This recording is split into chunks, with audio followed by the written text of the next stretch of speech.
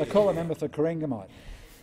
Thank you very much, Mr Deputy Speaker. I was delighted to join hundreds of basketballers in Colac yesterday to celebrate the very first games to be held at the new basketball stadium at Bluewater Leisure Centre.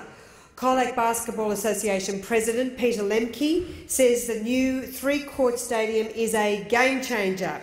The redeveloped Bluewater Centre includes an upgraded swimming pool, a state-of-the-art gymnasium, childcare centre and now regional Victoria's best basketball courts, which can also accommodate netball, badminton and other sports. I'm very proud that the Australian government is the major funder of this $13.6 million project, contributing $6.58 million.